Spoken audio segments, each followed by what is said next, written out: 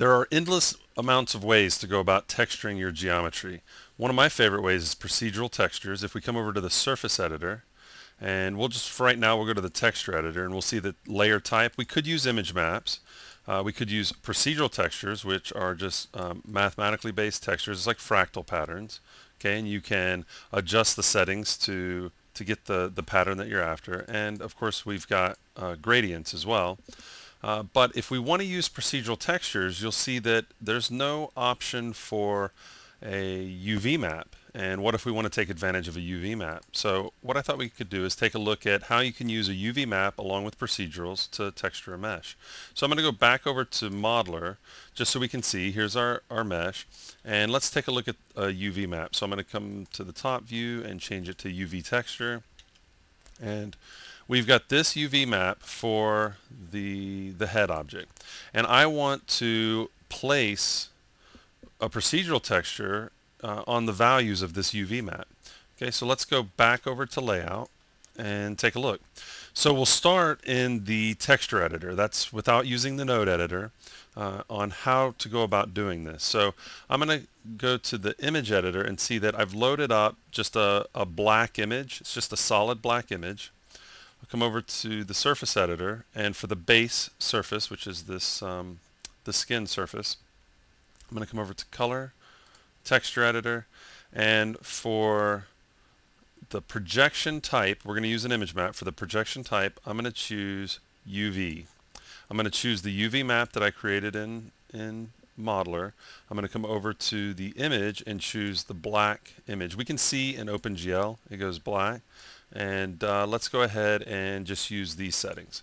So I'm going to do a quick render and we, we can see that we've got the black texture on there. There's a little bit of specularity and glossiness so that's why you're seeing the sheen, the, the little shine on there.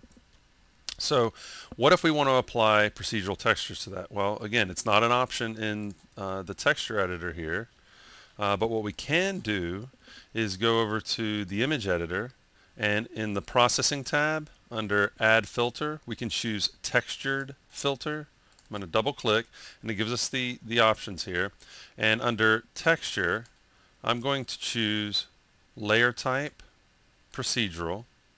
Now the interesting thing I'm going to close this down I'm going to close down the render here and I'll close this down. Watch in OpenGL back here. I'm going to size the procedural texture down 0.25 0.25 0.25 let's um, throw a, a, a color on there so we can see.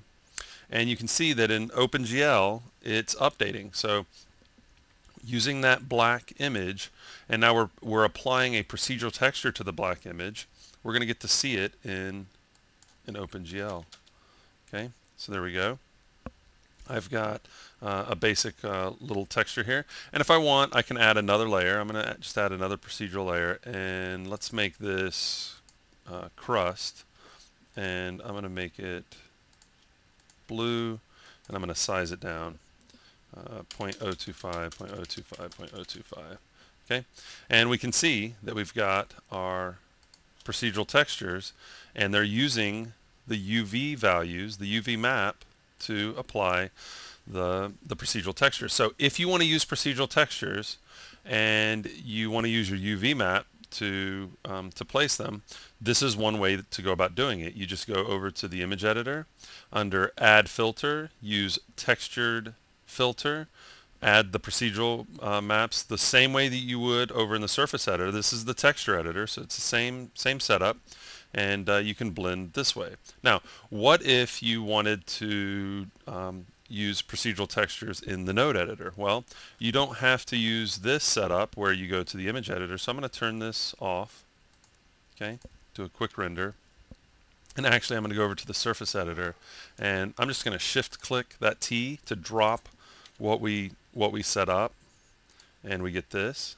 So let's go over to the same surface, edit nodes. I'm going to activate them right here and then we'll open up the node editor and under add nodes or you can hold down control and right click and sometimes I find this easier than coming over here and doing it. So I'm going to go control right click and under the 2D textures I'm going to pick turbulence okay double click and for The mapping type, I'm going to choose UV map, choose the UV map that I'm working with.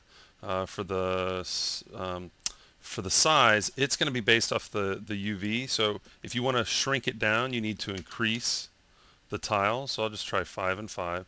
I'm going to plug this into color. I'm going to actually increase the contrast as well. Okay, and do a quick render. And there we go. We've got, we're using the UV map to draw, uh, for this procedural to, to be placed. I'm going to just change it up a little bit.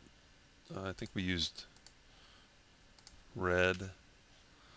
Okay, and then let's add one more thing. Let's go ahead and do the, um, like a crust. Actually, I'll use the control, right click, and 3D crust. Make that blue shrink down the size a bit. Plug this into the, actually I'm going to plug it into the background color to fill in that black. And I made it kind of too small, so I'm going to size it up a bit. Okay, and there you go. So it's a uh, another way of going about using a UV map, map with procedural, so whether you want to use the node editor or the texture editor um, out on the base of the, the surface editor, uh, that's, um, that's a look at, at how to do it. So remember for the, for the texture editor, you need to use a, an image, go over to the image editor and use textured filter. And for the node editor, uh, just start off with one of these uh, 2D procedurals and you'll get the, the UV options for that.